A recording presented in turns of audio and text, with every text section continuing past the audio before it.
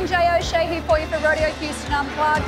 Today here at Rodeo, it's Armed Forces Appreciation Day, and we get to celebrate our men and women in uniform. It's a pretty special day, isn't it, Joel? Very special day. One of my favorite days of the entire year where we get to honor our servicemen and servicewomen who sacrifice so much for us. Now, now, don't be fooled. We've got a party going on here in the background, but earlier today we had former US Navy four-star Admiral William H. McRaven come and speak to our servicemen and servicewomen, and what a great speech it was. All of you that are here today are here because this great committee came together, the Armed Forces Appreciation Committee, to make sure that we could bring you guys in. Nothing says Texas like a rodeo and veterans. Those of you serving today are children of the magnificent warriors who went before you, and each of you will leave behind a legacy that will affect the thousands upon thousands of warriors that will follow. As you leave today, always remember the sacrifice of the men and women that came before you. Always remember the obligation you have to represent them with honor and dignity.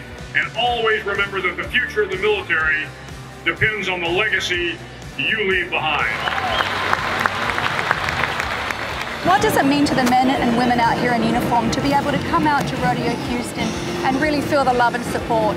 Well, when you think about, again, what this committee did uh, to bring these soldiers in, you know, 3,000, almost 4,000 soldiers, sailors, Yes, airmen, Marines, Coast Guardsmen, and again, they've got the first responders coming again in, in a week or so.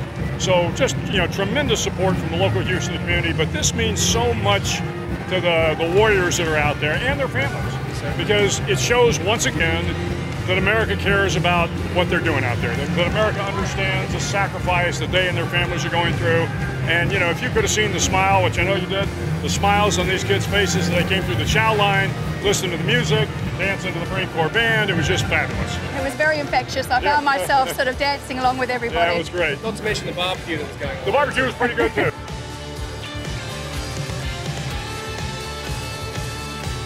Well, there you have it, folks. Time to get back to the party. But listen, if you're on the ground today, don't be shy to go up to one of our men and women in uniform and say thank you.